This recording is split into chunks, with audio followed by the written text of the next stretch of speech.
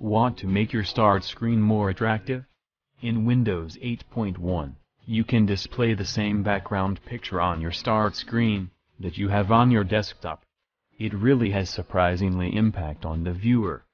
Before we apply the trick, let's see difference first. As you can see the background wallpaper of my desktop, but as I switch to the start screen, the start screen background is different than desktop, which makes it a little jerky, and it seems that we have been moved to some other place. Now, let's have the same background on our start screen, as we have on our desktop.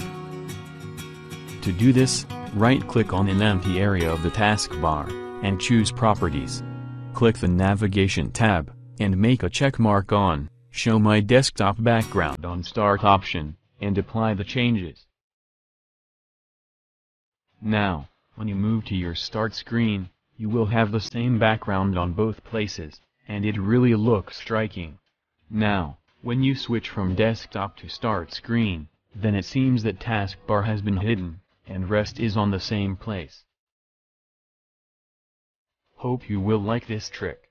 Subscribe to our channel for more upcoming videos on Windows 8.1. If you like our videos, then hit like, leave a comment, or share our videos with your friends.